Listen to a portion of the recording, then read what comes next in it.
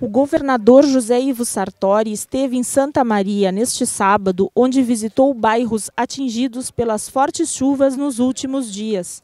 Dois caminhões da Defesa Civil do Estado, com lonas, cobertores e alimentos, já foram enviados ao município da região central. Também agradecer à comunidade, às igrejas, o município, a Defesa Civil, as escolas que também protagonizaram abrigo para as pessoas, as associações de moradores, que todos também contribuíram para diminuir o impacto do infortúnio de todos. A visita foi acompanhada pelo prefeito César Schirmer e prefeitos de Itaara, Ivorá, São João do Polesine e Jaguari.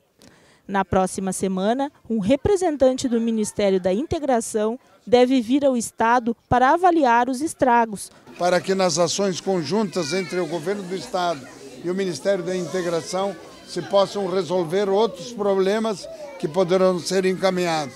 O secretário de Transportes estará aqui conversando com todos os prefeitos para verificar e para ouvir todas as questões onde há prejuízo da infraestrutura mais, mais acentuada.